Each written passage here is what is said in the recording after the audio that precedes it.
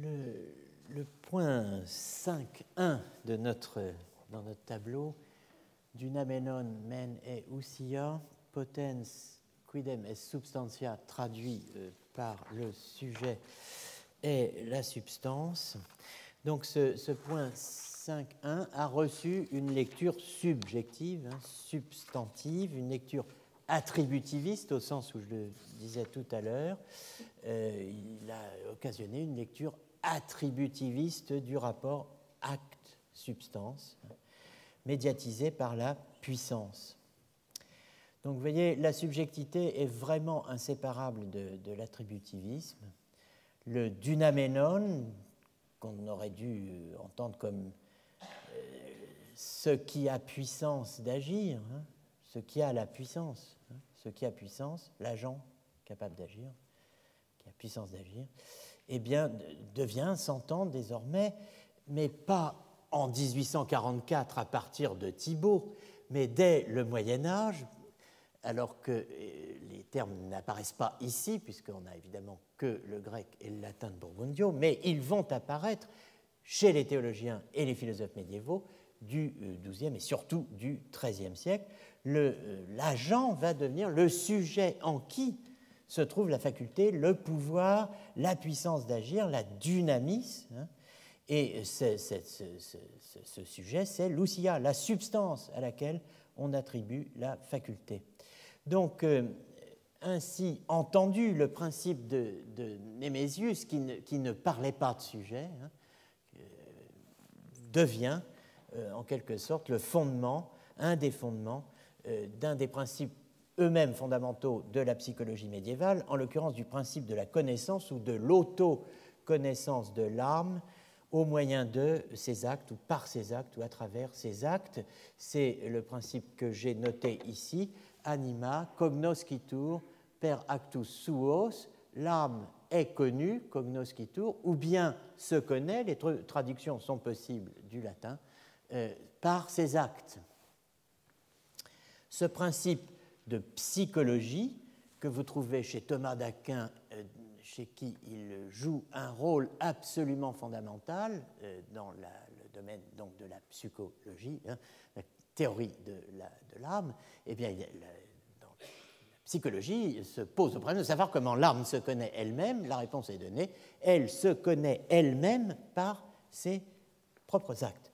Ce principe donc de psychologie s'inscrit dans une séquence, une série épistémique relative à la connaissance, où Lucia euh, reste lisible euh, dans sa, double titulature, hein, soit comme essence, soit comme substance. Euh, vous savez quelle est l'importance de cette ambiguïté native du terme et du concept grec d'ousia? Tantôt essence, tantôt substance. Et de la traduction alternée qui est donnée en latin par Boès lui-même, qui a traduit euh, tantôt ousia par essentia, tantôt par substantia. Bon, euh, cette, cette, traduction alternée, euh, chez les médiévaux, évidemment, a une importance fondamentale, en tout cas ce que j'appelle la séquence épistémique, euh, qui euh, est fondée sur euh, la définition de Némésius de, de, Homs, eh bien, vous la voyez figurer ici. Ka, comme dans la kaikéthésée, signifie que,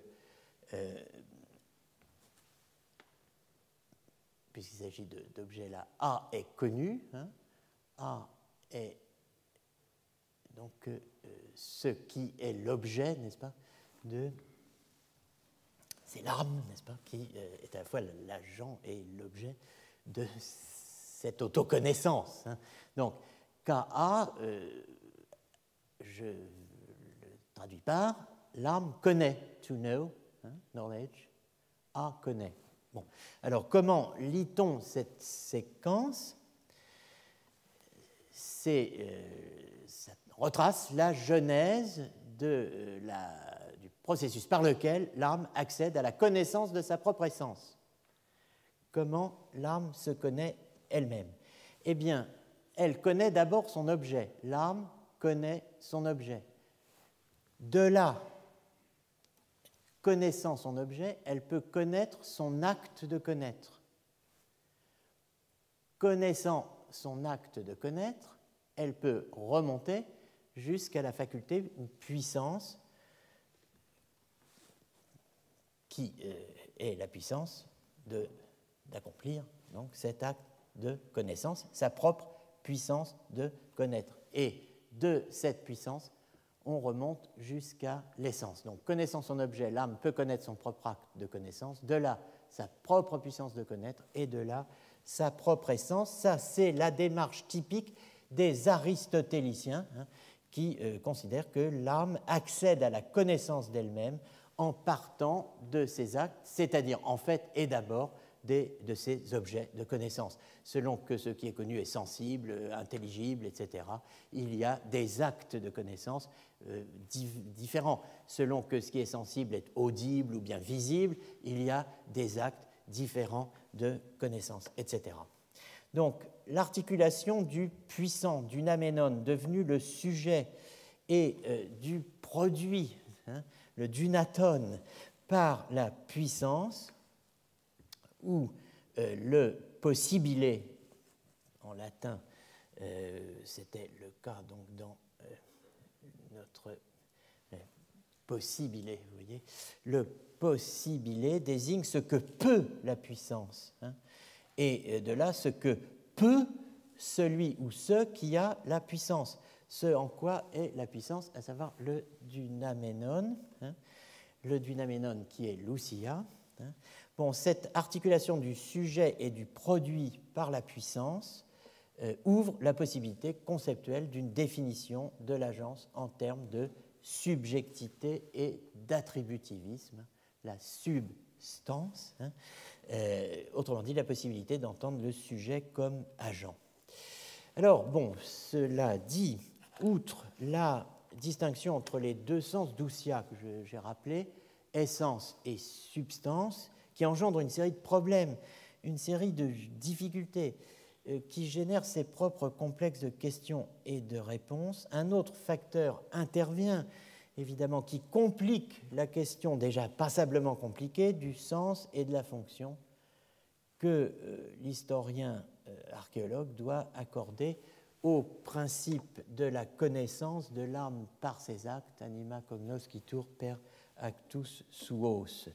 Et euh, d'autre part, cela évidemment engendre une série de problèmes et de difficultés qui euh, sont relatifs cette fois à la nature et à la portée euh, même de l'opposition entre le modèle aristotélicien et le modèle augustinien, hein, de la relation entre l'essence ou substance de l'âme et ses puissances. Alors, ce facteur-là euh, tient, n'est-ce pas, second facteur, qui concentre tout un ensemble de difficultés. Il tient au fond dans, une, dans l'expression même en ousia, dans l'ousia. Qu'est-ce que ça veut dire en ousia? Dire que la, la faculté, la puissance, le pouvoir, la capacité est dans l'ousia. Qu'est-ce que ça veut dire? Quel est le mode d'immanence, quel est le mode d'inhérence de la puissance dans l'ousia, entendu comme substance, substantia? Et là, vous voyez qu'on a, on retrouve les deux, les deux modèles dont on n'arrive pas à se débarrasser, si je puis dire, euh, à savoir euh, le modèle attributiviste, les puissances, les facultés inères à la substance comme des accidents à un sujet. Mode d'être de l'essein subjecto, en einai, être dans un hypokaimenon, être dans un sujet, c'est euh, le mode d'inhérence décrit dans le chapitre 2 des catégories. Et vous vous rappelez, on l'avait vu l'an dernier, que Augustin a formellement, absolument, radicalement rejeté ce rapport comme euh, susceptible de euh, nous donner le moyen de penser le rapport existant entre l'âme et ses actes ou états mentaux. Bien, deuxième euh, réponse, cet attributivisme donc aristotélicien rejeté par Augustin. Bon, bah, il y a le modèle d'Augustin, qui est, l'alternative à l'attributivisme, le fameux modèle périchorétique. Hein. Le mode d'immanence dit par Augustin substantiel, ou pour mieux dire, dit-il, essentiel. Donc on retrouve les deux traductions de euh, dans le même passage de la Trinité 9, 4, 5, où euh, Augustin introduit contre l'inhérence subjective dans la substance d'un accident le modèle périchorétique où chacun des trois, alors là vous pouvez penser euh, à ce qu'on a vu dans le séminaire, les, trois euh, activités fondamentales, ou les trois facultés, ou les trois éléments du ternaire, par exemple intelligence, volonté, etc. Chacun des trois est en soi, et cependant ils sont mutuellement chacun tout entier dans les autres tout entiers, chacun dans les deux autres, et les deux autres en chacun, et ainsi ils sont tout en tous. Nous avons sué Sanguéo comme on dit euh, la euh, semaine passée, sur cette euh, structure d'interconnexion, d'interpénétration, d'entremêlement, d'enchevêtrement. Vous vous rappelez tous les termes qui ont été utilisés dans le séminaire en nous appuyant sur Brentano et sur un certain nombre de lecteurs d'Aristote et d'Augustin, n'est-ce pas, au, Moyen Âge, et surtout Brentano lui-même. Bon, vous, voyez qu'on on retrouve, à partir du moment où euh, la faculté qui va nous permettre de rendre compte de l'action, à partir du moment où on voit qu'elle elle est inhérente à la substance ou essence de l'arme, on, se trouve en plein cœur de la théorie de l'action, confronté au problème autour duquel on, a cessé de tourner à propos de la pensée, à savoir rendre compte de la dimension subjective de l'action dans un des deux langages au choix euh, qui nous permettent de rendre compte de la dimension subjective de la pensée. Le problème de la pensée et celui de l'action, au fond, sont confrontés à la même offre, à la même alternative, aux deux mêmes, euh, comment dirais-je, possibilités euh, de développer un discours théorique sur cela qui paraît pourtant tout simple, penser, agir. Hein thinking, willing, selon euh, les euh, termes qu'on avait euh, retrouvés, trouvés plus exactement au début de l'année dans le séminaire, en partant des considérations de Hannah Arendt sur les trois facultés, enfin, ou les trois activités plus exactement fondamentales de la personne humaine. Alors, bon, on est allé aussi loin qu'on pouvait aller dans la mise en place des fondements. On pourrait continuer indéfiniment, mais je pense que ça serait inutile. On a, on a, je crois, suffisamment euh, posé les, premières pierres grecques, si je puis dire, d'un édifice qui va devenir aussi euh, baroque et bizarre que, le, palais de justice de, Bruxelles, n'est-ce pas, où euh, par couche euh, toutes les, étapes, je crois, de l'histoire de l'architecture ancienne. on a déjà les fondements grecs, on a eu un peu de latin, maintenant il faut passer décidément à autre chose. on, a, on, a, on sait qu'on a en, derrière soi, qu'on a en sous-main deux modèles, un aristotélicien, un augustinien. On a défini suffisamment, je crois, euh, le modèle euh, attributiviste, le modèle périchorétique. Maintenant, avançons euh, et reprenons, retrouvons nos auteurs anglais ou anglophones de, de l'âge classique, ou même un peu avant, et renouons avec le propos qui avait été le nôtre le 10 février dernier.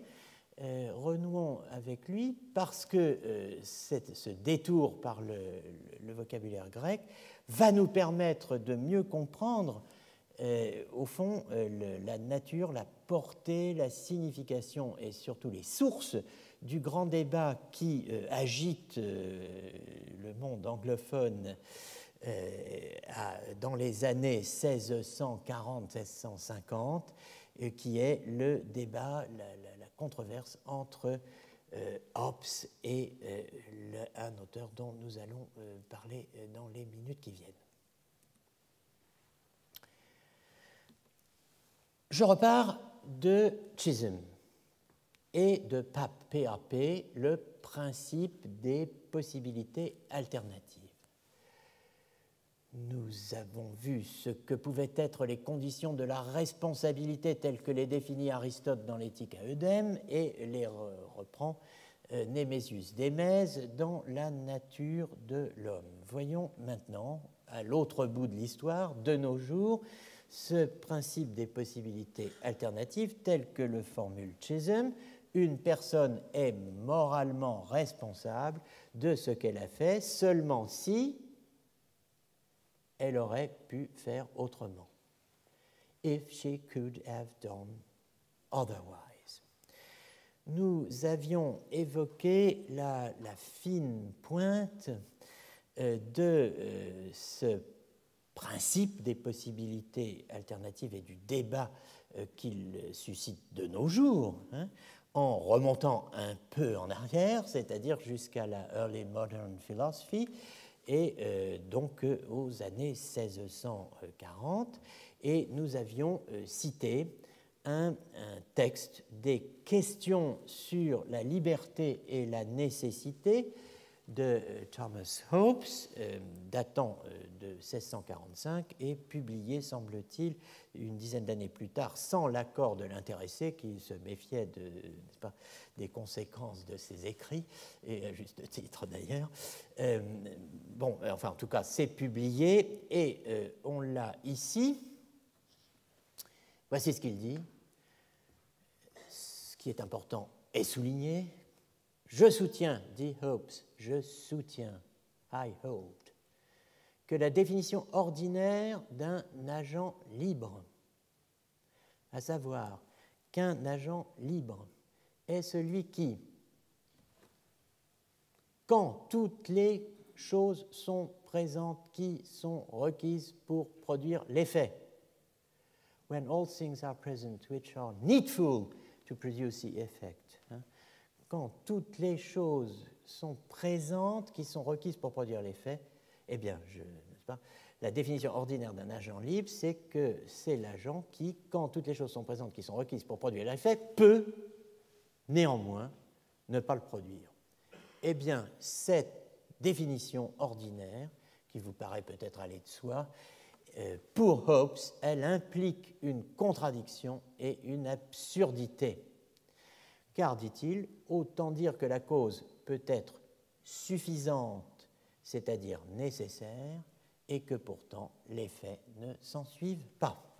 Voilà donc le point, comme on dit maintenant, de Hobbes. Hobbes soutient deux choses, donc. Que la définition euh, ordinaire d'un agent libre est inacceptable et même absurde, parce qu'elle enveloppe une contradiction. Deuxièmement, il explique en quoi consiste cette contradiction, à savoir qu'une cause soit dite suffisante sans produire son effet. Alors, ce texte est très important, le texte de Hobbes, euh, et euh, à dire vrai, je ne suis pas le premier à attirer l'attention sur ce texte, ni sur la controverse qui l'enveloppe avec l'adversaire de Hobbes dans ce texte, à savoir l'évêque de Derry en Irlande, M. Bramhall, sur lequel on va revenir dans un instant.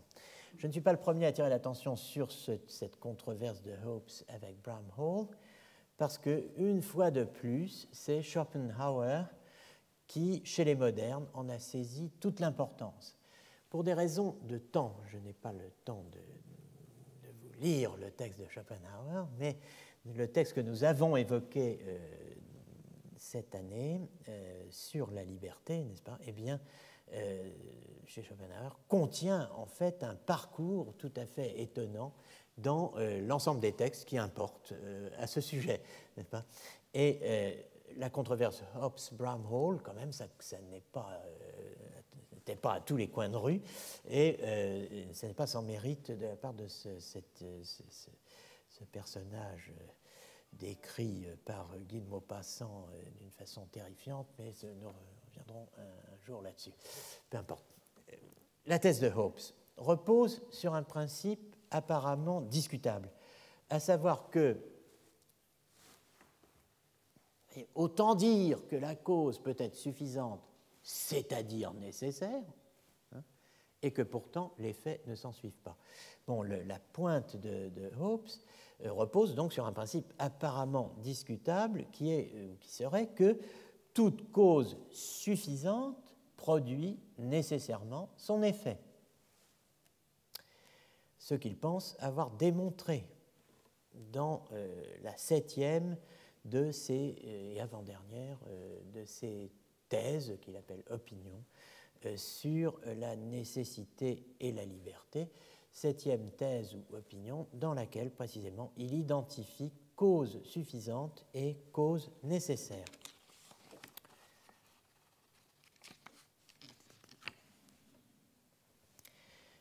Cette identification euh, des euh, deux causes ne va peut-être pas de soi pour vous. En tout cas, que dit Hobbes?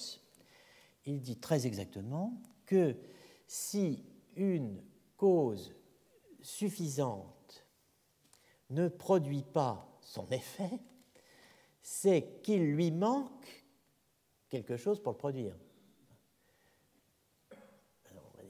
c'est une cause suffisante. Pourquoi est-ce qu'elle ne produit pas son effet? Bah, Réponse, bah, bah, je ne sais pas, c'est qu'il lui manque quelque chose pour le produire. Bon. Donc, dit elle n'est pas suffisante s'il lui manque quelque chose. Bon. Alors, de là, n'est-ce pas, étant euh, constant que si une cause suffit à produire un effet, évident hein, qu'elle ne peut pas ne pas le produire, hein, donc étant posé que si une cause suffit à produire un effet, elle ne peut pas ne pas le produire, puisque si elle ne le produit pas, c'est qu'elle ne suffisait pas à le produire. Hein. eh bien, euh, cela étant posé, euh, notre euh, Hobbes infère que, en tant que produite, puisque une action, une fois qu'elle est produite, une action qui a eu lieu, une action produite. Hein. En tant que produite, les actions volontaires sont nécessitées, car si tel n'était pas le cas, justement, ben, elles ne se seraient pas produites. Or, elles se sont produites, c'est donc qu'elles avaient une cause suffisante pour les produire, une cause suffisante à qui il ne manquait rien pour les produire, donc nécessaire. Ce qui vaut d'une cause suffisante vaut d'une cause nécessaire, alors je cherchais la septième opinion. On a retrouvé la septième opinion. La voici. Contre cela, le théologien anglican John Bramhall, évêque de Derry, grand adversaire de Hobbes, il est l'auteur d'un livre qui est peut-être moins amusant euh, que son titre ne le laisse entendre, euh, et même à coup sûr d'ailleurs, mais euh, le titre du livre, c'est La capture de Léviathan. c'est beau, ça pourrait être un roman. Bon, en tout cas, La capture de Léviathan, Hobbes a écrit le Léviathan, Bramhall l'attrape au lasso irlandais, et bon, en tout cas, Bramhall ne voit ni non-sens ni contradiction dans la définition ordinaire d'un agent libre où Hobbes voit une euh, contradiction et une absurdité. Dans sa réponse au traité sur la liberté et la nécessité, il commence par euh, souligner que euh, le dernier point, autrement dit le rejet de la définition, qui est le corollaire de la fameuse septième opinion, ou bien qui est une inférence tirée de la septième opinion, à savoir que toute cause suffisante produit nécessairement son effet, eh bien, euh, Bramhall dit, voilà, c'est le pilier de euh, toute la démonstration de M. Hobbes, lequel pilier, écrit-il, s'il est supprimé, la superstructure, diable, doit nécessairement s'écrouler sur le sol, n'ayant plus rien pour la soutenir. C'est pas mal envoyé. Il n'y a rien, dit-il, ni personne pour soutenir la superstructure, la thèse de Hobbes. Rien ni personne, à part Hobbes lui-même. En effet, dit Bramhall, Hobbes dit Je soutiens. I hold.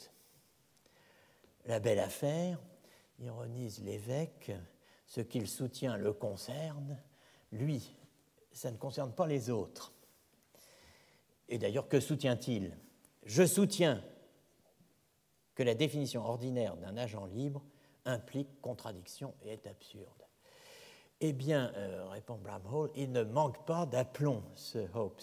Ce qu'il appelle la définition ordinaire est la même définition que celle qui est donnée par la plupart des philosophes et des scolastiques. Pense-t-il, Hobbes, que tous disent une absurdité? Ou ont si peu de jugement qu'ils se contredisent au stade très simple, préliminaire de la définition hein? Il ferait mieux de se soupçonner lui-même, n'est-ce pas, au lieu de critiquer tant de gens. Bon, une fois passé l'ironie, euh, Bramall argumente. Let us see the definition itself. Donc, euh, regardons cette définition.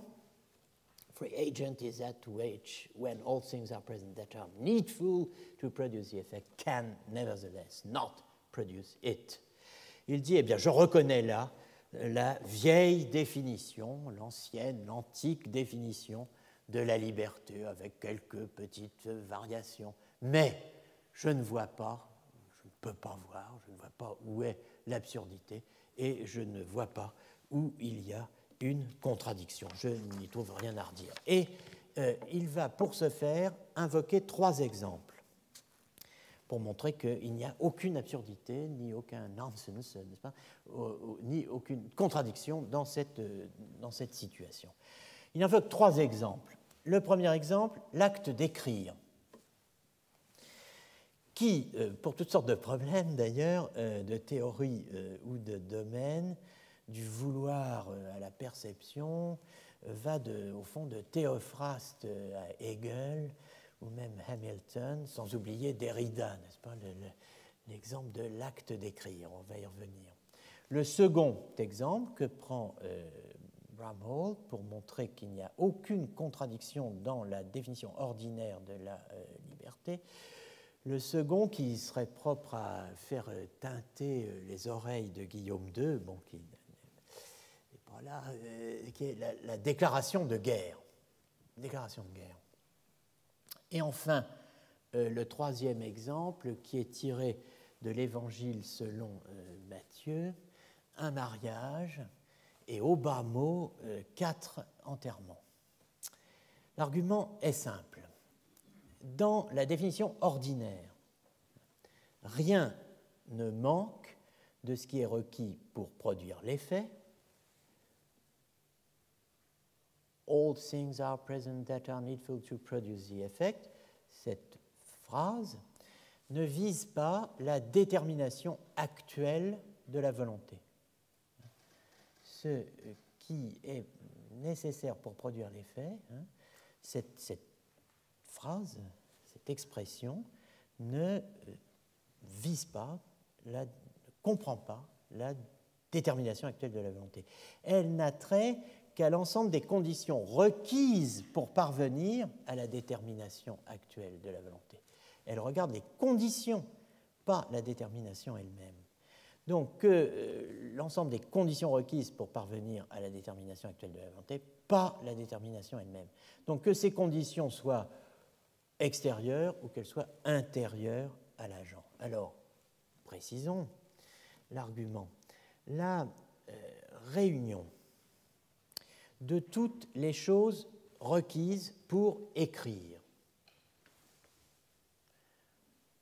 All things requisite to write. Hein?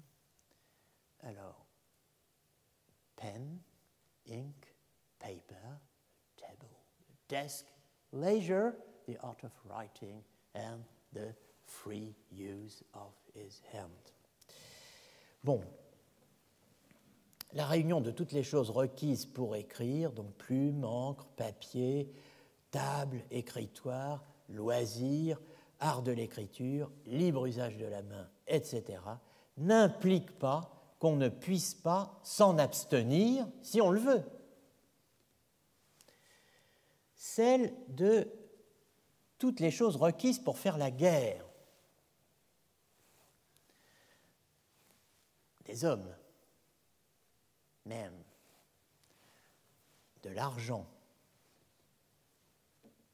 des armes, des munitions, des bateaux. Nous sommes en Grande-Bretagne, n'est-ce pas? Anglophilie se manifestera dans la phrase qui suit, euh, just cause, n'est-ce pas? Et une juste cause. Bon, euh, avoir tout ça, c'est formidable, mais ça n'implique pas que le roi ne puisse pas choisir la paix s'il le veut. La réunion des conditions hein, n'empêche pas plus l'agent de différer ou de rejeter qu'elle ne l'oblige à agir positivement. Quant au mariage, alors l'argument roule sur Matthieu 22, verset 2-4. Matthieu 22, 2, 4. En l'occurrence, sur l'accueil fait par les invités à la formule d'invitation euh, transmise par les serviteurs, mandée par un certain roi, euh, Matthieu 4, n'est-ce pas, pour les convier au repas de noces de son fils. I have prepared my dinner, my oxen, my fatlings are killed, all things are ready, come unto the marriage. Voici, j'ai apprêté mon dîner, mes taureaux et mes bêtes grasses sont tués, et tout est prêt, venez aux noces. Donc, le roi a invité une première fois en vain les invités. Il les invite une deuxième fois en disant que tout est prêt. Les invités relapsent, n'est-ce pas, ne viennent pas. Le roi, outragé, les fait assassiner. Si l'on suivait Hopes, dit Bramhall, les invités, euh, qui semble-t-il n'aimaient vraiment pas euh, la cuisine euh, du, roi, c'était pas top chef, les, invités qui, vraiment n'aimaient pas la, cuisine du roi, j'imagine, bon, en tout cas, auraient pu lui répondre que le roi ne disait pas la vérité, puisque leur propre volonté n'était pas prête. Donc tout n'était pas prêt. Voilà. Euh, si la thèse Hobbes était vraie, n'est-ce pas, les, invités, qui semble-t-il donc n'aimaient pas, c'est qui dis ça, euh, vraiment sa cuisine, auraient pu lui répondre qu'ils ne disaient pas la vérité, car leur propre volonté n'était pas prête. According to his doctrine, the guests might have told him that he said not truly, for their own wills were not ready. C'est faux. Qu'ils le voulussent ou non, ils étaient invités. L'invitation royale, autrement dit la volonté du roi exprimée dans l'invitation transmise par les serviteurs, ne dépendait pas de la volonté des invités d'être invités. Qu'ils y fussent disposés ou non, le roi avait le pouvoir de les inviter ou de ne pas les inviter, autrement dit celui de les vouloir ou non aux noces. En d'autres termes, la euh, volonté n'est pas nécessité extrinsèquement à vouloir tout acte de vouloir, elle peut vouloir, elle peut ne pas vouloir et elle peut s'abstenir de vouloir. Trois grandes possibilités. Si elle n'avait pas le pouvoir de décliner l'invitation, de remettre, dire on verra ça une autre fois. Bon, en tout cas, si elle n'avait pas le pouvoir de reporter le vouloir de ce qu'elle veut, ni le pouvoir de ne pas vouloir ce qu'elle ne veut pas, hein, la volonté n'aurait pas le pouvoir de produire l'effet qu'elle veut. Quelque chose de requis à la production de l'effet ferait défaut, à savoir la volonté elle-même. La volonté ferait défaut. Le vouloir serait en manque de vouloir. Autrement dit, mais euh, bon, ce sont mes termes, euh, pas de liberté de faire sans liberté de ne pas faire, et pas de liberté de faire sans liberté de différer. La volonté peut, alors voilà ce que dit Bramall, hein, d'elle-même et par elle-même vouloir, will, ce qu'elle veut, et nouloir, nil, ce qu'elle ne veut pas. Science et conscience, raison et religion, toute l'expérience humaine, la mienne comme celle d'autrui, enseigne que la volonté a sur ses propres actes dominion, empire, hein, de vouloir ou de ne pas vouloir, sans nécessitation extrinsèque. La réunion de toutes les conditions nécessaires pour que je veuille ne fait pas que je voudrais. C'est comme ça. Hein. enfin, selon. Et donc, pour parler le langage de l'école, si le pouvoir de vouloir est présent chez quelqu'un en acte premier, déterminable par lui, aucun pouvoir nécessaire ne lui fait défaut sous ce rapport pour produire un effet. Rappelez-vous ce que je disais tout à l'heure de action et acte. Euh, on pourrait développer euh, cette notion d'acte premier, la notion d'acte second, l'acte second dans le langage scolastique étant la mise en œuvre de la capacité actuelle que j'ai de faire ce que je peux faire, pas? Euh, Il y a la puissance nue. Un petit enfant qui vient de naître est en puissance capable de lire. À un moment, il a appris à lire. Il est donc en puissance seconde, disent les médiévaux. Cette puissance seconde est un acte premier, c'est-à-dire il est capable vraiment de lire et d'écrire. Mais euh, au moment où il ne lit pas et n'écrit pas, par exemple quand il dort, eh bien, il n'exerce pas cette capacité. Quand en revanche, les yeux grands ouverts et ne dormant pas, euh, il, il, lit ou écrit, eh bien, il exerce cette aptitude qui était aussi bien décrite comme une puissance seconde que comme un acte premier. Et cette activité-là, c'est précisément là ce qu'on appelle l'énergie seconde ou l'acte second. Donc, ce que dit Bramall, c'est que si vous avez euh, le pouvoir en acte premier déterminable, c'est-à-dire susceptible d'être actualisé en acte second euh, de, vouloir, n'est-ce pas Bien, ce pouvoir suffit pour que vous soyez à même de vouloir ce que vous voulez, de ne pas vouloir ce que vous ne voulez pas, et de différer si vous ne voulez ni vouloir ce que vous ne voulez pas, ni ne pas vouloir ce que vous voulez. Bon, alors je laisse de côté ces notions euh, d'acte premier et d'acte second qui sont héritées euh, en fait d'Aristote, hein, tout bêtement, du De Anima, livre 2, chapitre 5, où Aristote explique euh, en ces termes le passage de la science possédée, euh, qui est en, puissance seconde en téléchie première, à son exercice actuel, au moment où on exerce une capacité scientifique quelconque. Bon, je laisse de côté ça, qui, qui, qui qui nous entraînerait peut-être trop loin, et en tout cas, je pose pour finir deux problèmes que euh, nous allons retrouver, donc, euh, non pas la semaine prochaine, mais dans 15 jours. Euh, et ces deux problèmes sont les suivants.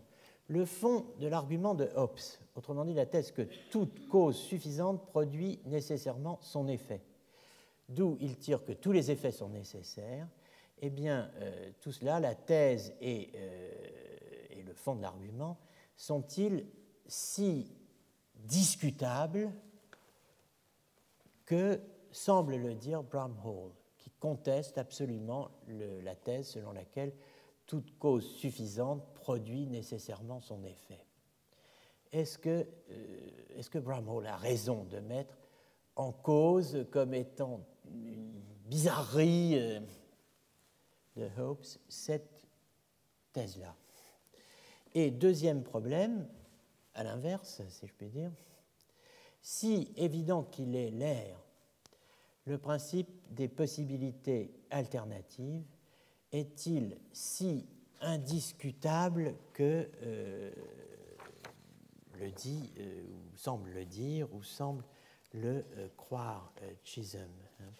Ce PAP, ce principe selon lequel, effectivement, quelque chose est, je vous rappelle la formulation euh, exacte, une personne et non pas quelque chose, une personne est moralement responsable de ce qu'elle a fait seulement si elle aurait pu faire autrement.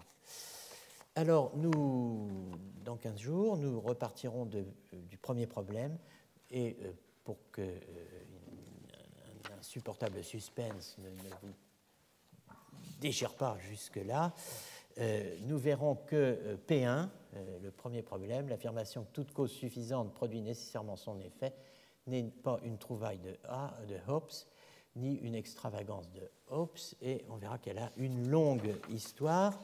Et euh, concernant le euh, deuxième problème, euh, nous verrons que, eh bien, là, il faut beaucoup plus que citer quelques sources pour savoir si, enfin, si le principe des possibilités alternatives est, un principe fiable ou pas. Donc, euh, je vous donne rendez-vous dans 15 jours et euh, vous remercie de votre attention.